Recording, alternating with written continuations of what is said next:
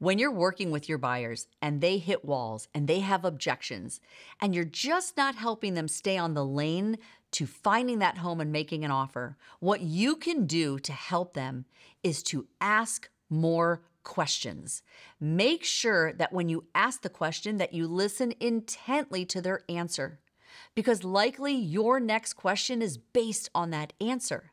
Question after question and peeling the onion back if you will will help your buyers self discover what it is they actually need to do and what it is they actually want, which will help you get over the hurdle of all the objections that you are going to hit as a buyer's agent.